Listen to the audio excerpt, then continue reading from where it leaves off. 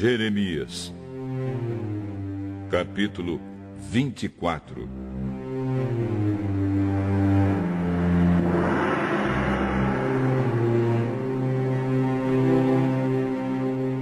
Eu tive uma visão.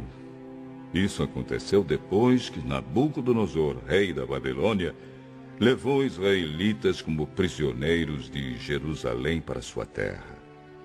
Ele levou o rei de Judá, que era Joaquim, filho de Jeoaquim, as autoridades de Judá, os carpinteiros e os outros operários especializados. Nessa visão, o Senhor Deus me mostrou dois cestos de figos que estavam na frente do templo. No primeiro cesto havia figos muito bons, do tipo que logo fica maduro. Do outro havia figos muito ruins, ruins demais para se comer.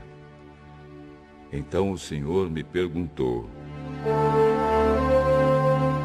Jeremias, o que você está vendo?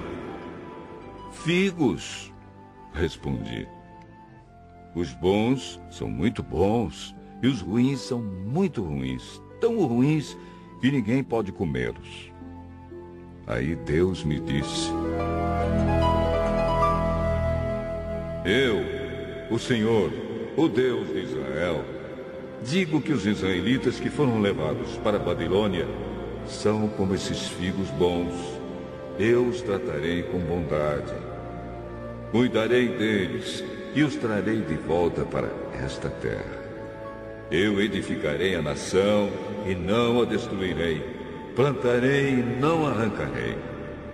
Porei no coração deles o desejo de reconhecerem que eu sou Deus, o Senhor. Então eles serão o meu povo e eu serei o seu Deus, porque com todo o coração vão voltar para mim. Eu, o Senhor, vou tratar como figos ruins que não podem ser comidos as seguintes pessoas: o rei Zedequias de Judá os políticos que estão com ele e o resto do povo de Jerusalém. Tanto os que ficaram nesta terra como os que se mudaram para o Egito.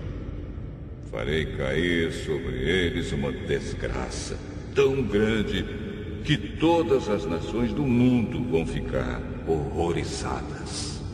As pessoas vão zombar deles, fazer piadas e caçoar. E em todos os lugares onde eu os espalhar, o nome deles será usado para rogar pragas. Mandarei contra eles guerra, fome e doença, até que desapareçam da terra que dei a eles e aos seus antepassados.